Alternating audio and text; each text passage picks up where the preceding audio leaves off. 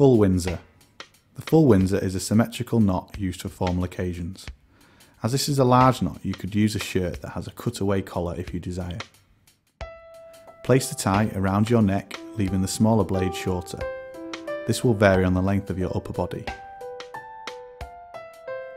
Take the thicker side, cross over the other and go up, bringing the tie back down to your right side. The next step is to go behind the knot and through to the other side. Holding the knot firmly with one hand, go back into the gap bringing the tie down to your right side. At this stage you should have created a V shape.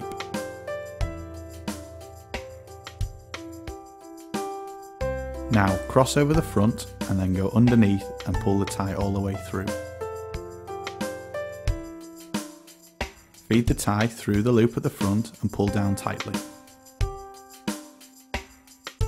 Slide the knot up to your top button and fold the collar over. Adjust the knot accordingly.